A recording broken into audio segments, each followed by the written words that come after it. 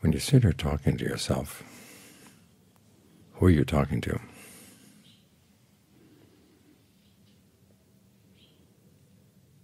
There are passages where the Buddha said that we go through life with craving as our companion. It's craving that whispers into our ears. It says we want this, I want that, don't want this, don't want that. Now we're going to go about getting what we want. We're doing away with what we don't want. And craving can be pretty blind. You have to be very careful about what desires you talk to that you bring into the conversation. The Buddha recommends a different friend inside, a different companion, conviction. Now, technically this means conviction in the Buddha's awakening. But as it relates to your actual decisions as you go through your life, means taking on a couple of working hypotheses about the power of your actions, which of your actions actually would be skillful or worth following through with. Because there's that part of the mind that calculates. Is it worth doing this? Is it worth giving up that? What are the results going to be, especially long-term results? And the Buddha is basically saying, take the knowledge that he gained on the night of his awakening and bring that into the calculation.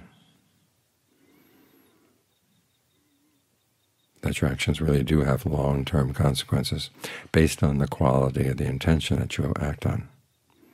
And the quality of the intention is not just good versus bad, because there are some good intentions that can be pretty diluted. You mean well, but you're not paying careful attention to what's going on, to what you're doing, the results that you're getting from your actions. Instead, you want to work on developing skillful actions based on reflecting on your intentions, reflecting on your actions, judging the results of your actions, and then making adjustments.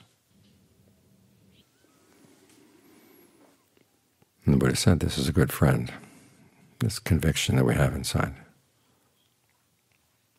There's an interesting passage where he says it's basically because we suffer that we need conviction, or that we are inclined to conviction. After all, if we weren't suffering, who would care? You could do what you wanted, nothing would happen, nothing would harm you, nothing would harm anybody else. You wouldn't have to necessarily believe in anything at all. The problem is that our actions do follow patterns of cause and effect and they're no respecter of persons. In other words, they don't make allowances for you just because you're really a good person at buttering up somebody. If you do something unskillful, the short-term results may be affected by your ability to please people, but the long-term results are not. The Buddha admits that there are cases where there are people who kill and steal and have illicit sex and lie and take intoxicants and because they amuse somebody in power by doing this. In other words, they kill the enemies of the king. They steal from the enemies of the king. They have illicit sex with the wives of the king's enemies. They tell a clever lie as a joke. Or they're good drinking buddies with the king. They'll get rewarded. But those rewards don't last. So what this means as you're practicing is you have conviction that the intentions you act on as you meditate will really make a difference. And this is the basic principle we've learned from observing the precepts. As the precepts are designed, they focus on your intentional actions. If you inadvertently step on an insect, inadvertently take something you thought was yours but belonged to somebody else. It doesn't count as a breach of the precepts. So the focus is on your intention.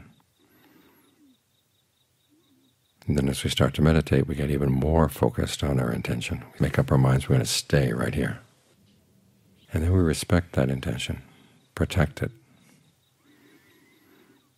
It's an intention based on conviction. One of the strangest things you hear is when people say, well, in Buddhism there's no room for faith. The Buddha doesn't want you to believe anything that you can't prove for yourself. That's only half true. There are a lot of things he says you can't know until you've actually worked on the path. And so you take the counsel of the wise into consideration.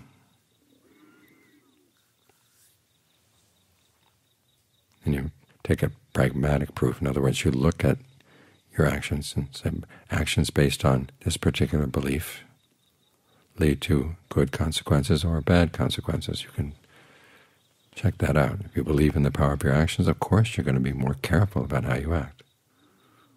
If you don't believe in the power of your actions, it's very unlikely that you'll go out of your way to do anything especially good or to avoid anything especially bad.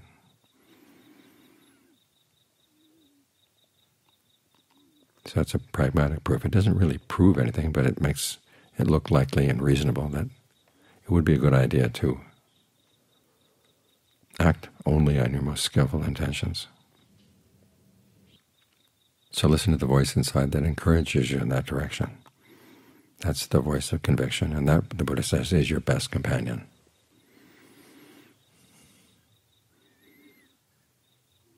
There's just so much in the path that we don't know until we hit stream entry.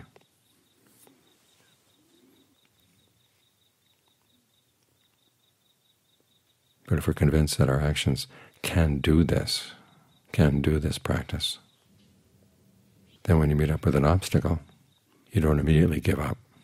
There must be a way around it. It's like a person lost in the woods. If you believe there's a way out, there's a possibility that you'll find it. If you don't believe there's a way out, you give up. And that for sure is going to guarantee that you're not going to get out.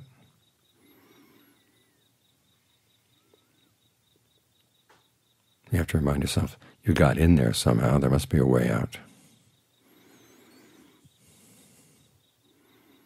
So you look for it, and you don't get discouraged. Think about the Buddha as he followed his path as he tried to find the path.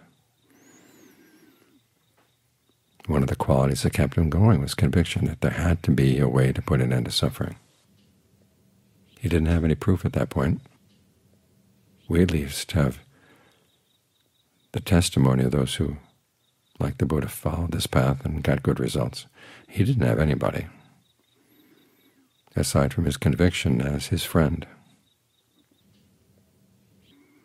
So when we take the Buddha as our example, the Buddha as our model, remember he was a person of conviction, strong conviction. You look at the different lists that he places conviction in. Conviction is a strength. It's a form of wealth. It's the foundation post for the, the practice when he compares the practice to a fortress on a frontier. You look at the old architectural manuals they have in India, that the foundation post is the most important thing. It's what gets the building started.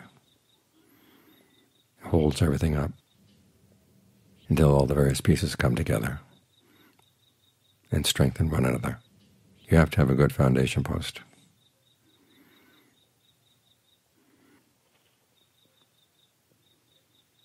So when you find yourself getting discouraged on the path, remember, other people have faced worse problems than you have, and yet they were able to get around them.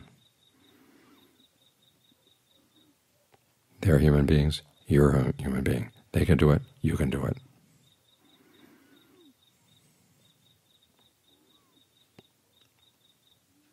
When you have something in your mind, the voice in the mind that tells you these things, then you've got a good friend, a good companion inside. Kind of companion that's worth nourishing.